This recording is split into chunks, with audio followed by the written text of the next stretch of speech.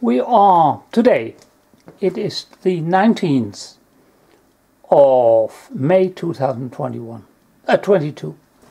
And please let us follow the amplitude response. Uh, we measure now at about 30 kilohertz.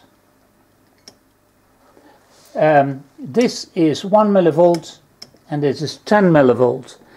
You can see there is a kind of threshold because now we are already um, passing through the maximum amplitude.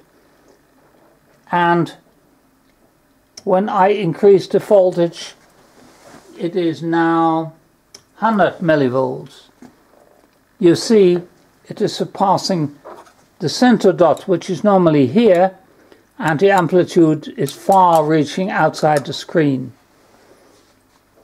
um, what I have to do um, first is to check all the valves whether the, some uh, because some channels uh, or the other uh, three channels aren't responding at all. Because I can have a look here. Look this is the spot in the center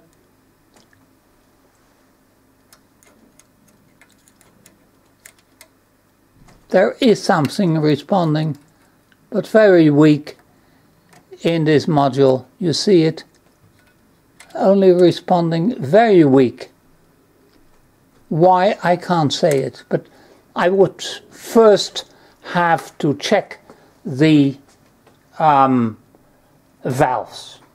That is um, first to eliminate uh, the possibility that um, valves are broken.